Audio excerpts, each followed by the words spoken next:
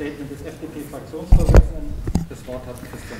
Ja, vielen Dank, Nils. Meine Damen, meine Herren, im Zentrum unserer Beratungen in dieser Woche äh, wird natürlich die Entwicklung der Corona-Pandemie stehen, die Bewertung der äh, Bund-Länder-Gespräche vom gestrigen Tag und natürlich die Beratungen zum Infektionsschutzgesetz auch im Deutschen Bundestag. Gestern äh, hat es eine Konferenz von Bund und Ländern gegeben, die vom Verfahren her äh, nicht überzeugend war. Das Kanzleramt hat versucht, die Landesregierungen mit neuen Vorschlägen zu überfahren. Äh, unter den vorgeschlagenen Maßnahmen war eine Quarantäne schon bei einfachsten Erkältungssymptomen. Unter den vorgeschlagenen Maßnahmen war die Halbierung des Schulunterrichts. Das wirkt aktionistisch. Wir brauchen nicht jede Woche neue Maßnahmen, nicht jede Woche eine neue Verunsicherung der Menschen. Wir brauchen eine Corona-Strategie, die dauerhaft durchhaltbar ist. Insbesondere sollte die Wirkung der bisherigen Kontaktbeschränkungen abgewartet, äh, analysiert werden. Wir müssen prüfen, ob die pauschalen und flächendeckenden Schließungen von Gastronomie, Kultur oder anderen Betrieben wirklich notwendig äh, waren. Wir glauben, sie waren nicht notwendig. Wir wollen das Land nicht komplett lahmlegen. Trotz der Notwendigkeit des Gesundheitsschutzes dürfen wir nicht schon wieder Millionen Familien mit ihren Kindern und Jugendlichen allein lassen, im Stich lassen. Und wir dürfen nicht erneut zulassen, dass insbesondere die Schwächsten nicht ihr Grundrecht auf Bildung realisieren können. Ähm, Luftfilter in Klassenräumen wären da die bessere Alternative, als äh, Familien im Stich zu lassen und jungen Menschen ihr Recht auf Bildung äh, vorzuenthalten.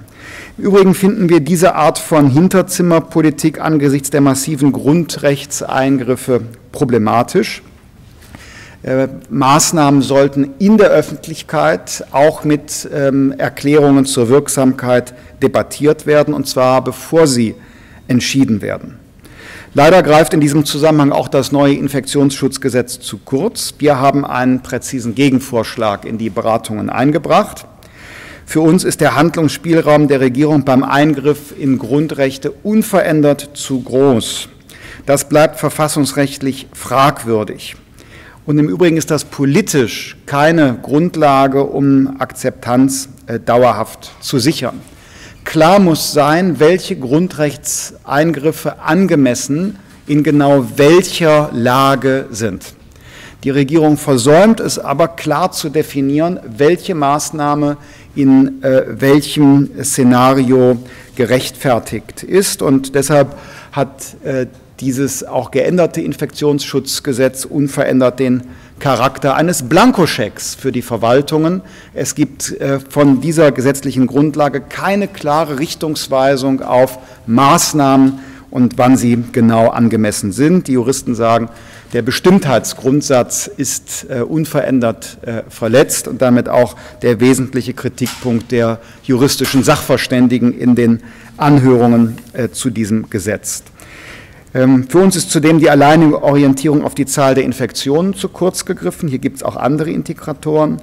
Und die Bundesregierung wollen wir verpflichten, dem Bundestag eine umfassende Krisenstrategie vorzulegen, die dann auch debattiert werden kann. All das fehlt. Und da all das fehlt, werden wir dem Paragraphen 28a in der Fassung der Großen Koalition auch nicht zustimmen. Zum Zweiten freuen wir uns über die Erfolgsmeldungen bei der Suche nach Corona-Impfstoffen. Es ist erfreulich, dass ein solcher auch auf der Grundlage von Forschung in Deutschland ähm, entwickelt worden ist. Dieser Erfolg ist keine Selbstverständlichkeit. Dieser Erfolg beruht auf gentechnischer Forschung. Gentechnische Forschung ist äh, in Deutschland umstritten. Ihr werden auch zu oft Steine in den Weg gestellt. Gerade jetzt in der Situation der Pandemie hat sich aber auch die segensreiche äh, Möglichkeit der Gentechnik ähm, offenbart. Bei allen Risiken, die man sehen muss, ist eine neue Offenheit für Innovationen in diesem Bereich angezeigt. Wir wollen mehr Forschungsfreiheit und wir wollen weniger falsche, unbegründete Voreingenommenheit. Wir wünschen uns ähm, ein Aktionsprogramm für den Gentechnologiestandort Deutschland. Dazu haben wir eine Initiative vorgelegt. Es geht um bessere steuerliche Anreize, Konzepte für Wagniskapital, eine Anpassung von Gesetzen an den jeweiligen Stand der Forschung und eben auch eine Stärkung der Akzeptanz äh, für dieses Forschungsfeld. Sprechen wird übrigens äh, unser äh, Wirtschaftsminister aus Rheinland-Pfalz und Generalsekretär Dr. Volker Wissing. Herr Wissing führt ja die BioNTech-Aktien, äh, pardon, Akten in seinem Ministerium in Rheinland-Pfalz und kann insbesondere darüber berichten, was eigentlich passiert wäre, wenn seine unmittelbare Vorgängerin von Bündnis 90 Die Grünen noch im Amt geblieben wäre mit dem ähm, Gentechnik-Standort Rheinland-Pfalz und speziell diesem Unternehmen. Äh, drittens, äh, der Autogipfel, der heute stattfindet.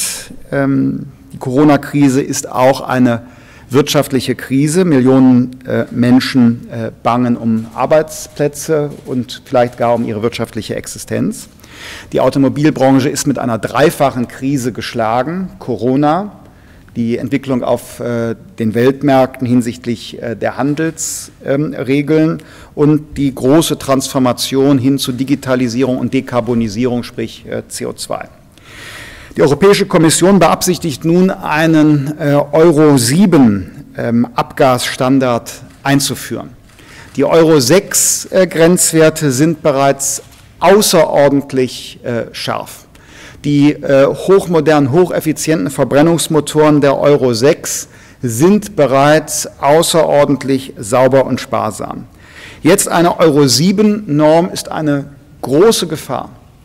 Entweder müssen Milliarden investiert werden, um die letzten Prozentpunkte des Wirkungsgrades beim Verbrennungsmotor noch rauszukitzeln, Investitionen, die fehlen für die wirklichen Zukunftsantriebe, die wir für die 30er und 40er Jahre brauchen. Oder ähm, um diese Kosten äh, zu vermeiden, weil sie nicht äh, rentabel sind, werden sich äh, Hersteller viel früher vom Verbrennungsmotor verabschieden und damit vorzeitig tausende Arbeitsplätze abbauen und Alternativen für bezahlbare individuelle Mobilität ähm, werden nicht zur Verfügung stehen. Deshalb muss die Bundesregierung solche Pläne frühzeitig modifizieren und auf ein äh, Maß der Vernunft und Verhältnismäßigkeit zurückführen. Unser Vorschlag ist eine Technologiegarantie für zehn Jahre. Dazu müssen die Gesamtemissionen aller Antriebe transparent verglichen werden. Dafür brauchen wir keine Kaufprämie für batterieelektrische Autos. Da brauchen wir schlicht die Technologieoffenheit äh, für alle Antriebe ähm, und nicht allein Quoten oder äh, Subventionen. Ja, und ähm, zuletzt, äh, wir haben in unserer virtuellen Fraktionssitzung heute den Vorstandsvorsitzenden der Lufthansa AG, Carsten Spohr, zu Gast. Wir ähm, sprechen mit ihm über die Lage der Luftfahrtwirtschaft in Deutschland, die äh, wir mit äh, großer Sorge beobachten. Auch hier sind Hunderttausende Arbeitsplätze ähm, bedroht. Und wir wollen mit Herrn Spohr als einem der führenden Vertreter der Branche darüber beraten, wie der Luftverkehr sukzessive auch unter Pandemiebedingungen wieder möglich gemacht werden kann, wie er hochgefahren werden kann. Wir äh, schlagen in einer äh, Parlamentsinitiative, äh, die in dieser Woche am äh, Freitag beraten wird, vor, die Risikobewertung bei Reisezielen differenzierter vorzunehmen, statt Pauschalbeschränkungen zu verhängen.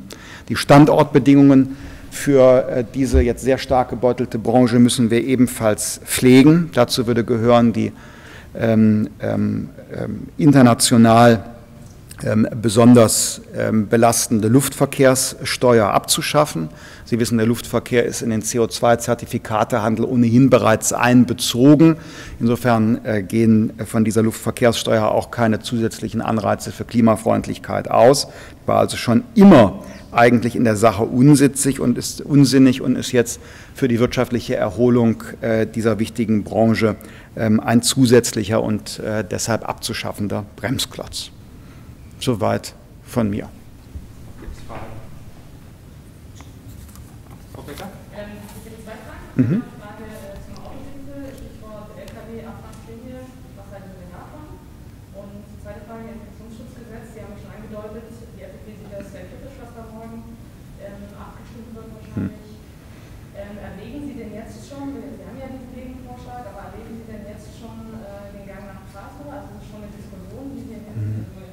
Fragen. Mhm. mhm. geführt haben? Oder ist es eher so die Maßnahme, dass dort nochmal mit den Regierungsfraktionen reden und auch den was von Mhm. Jetzt. Ja, das ist allerdings auch ein sehr rasch ähm, vorangetriebenes Gesetzgebungsvorhaben. Mhm. Uns ist der Vorschlag der Regierung nicht bestimmt genug. Es ist nicht klar, welche Grundrechtseingriffe, welche Freiheitsbeschränkungen sind bei äh, welcher Lage der Pandemie statthaft. Diese Klarstellung fehlt und deshalb ist dieses Gesetz eine wackelige Rechtsgrundlage. Dem würden wir nicht zustimmen. Äh, wir haben deshalb bessere Gegenvorschläge gemacht. Äh, über Klagen äh, kann und will ich jetzt heute aber noch nicht spekulieren. Das Gesetzgebungsverfahren ist ja noch nicht am Ende. Ich halte nichts von äh, Abwrackprämien, Subventionen, Kaufprämien äh, irgendeiner Art.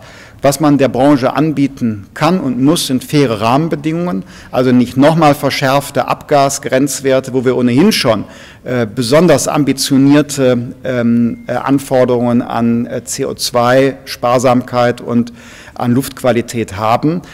Das lenkt nur Geld um. Ich glaube, darauf sollten wir verzichten. Dann erübrigt sich auch eine Diskussion über zum Beispiel Abwrackprämien oder Kaufquoten. Verstanden?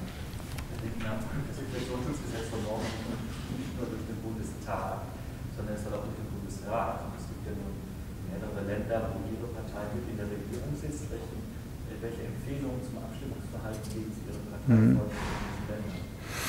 Darüber wird beraten, auch jetzt zur Stunde gerade in Landeskabinetten. Ähm, unsere ähm, äh, Regierungsbeteiligungen ähm, sprechen überwiegend äh, über freie Hand, sprich, ähm, dass es äh, eine Entscheidung darüber erst im Lichte auch der Beratungen des Deutschen Bundestages äh, gibt und nicht bereits jetzt in den Kabinetten Vorfestlegungen getroffen werden. Aber es wird sich ja am Inhalt durch die Beratungen im Bundestag nichts mehr ändern. Ja. Das wird eben jetzt noch zu schauen sein, was konkret passiert in der äh, zweiten Lesung.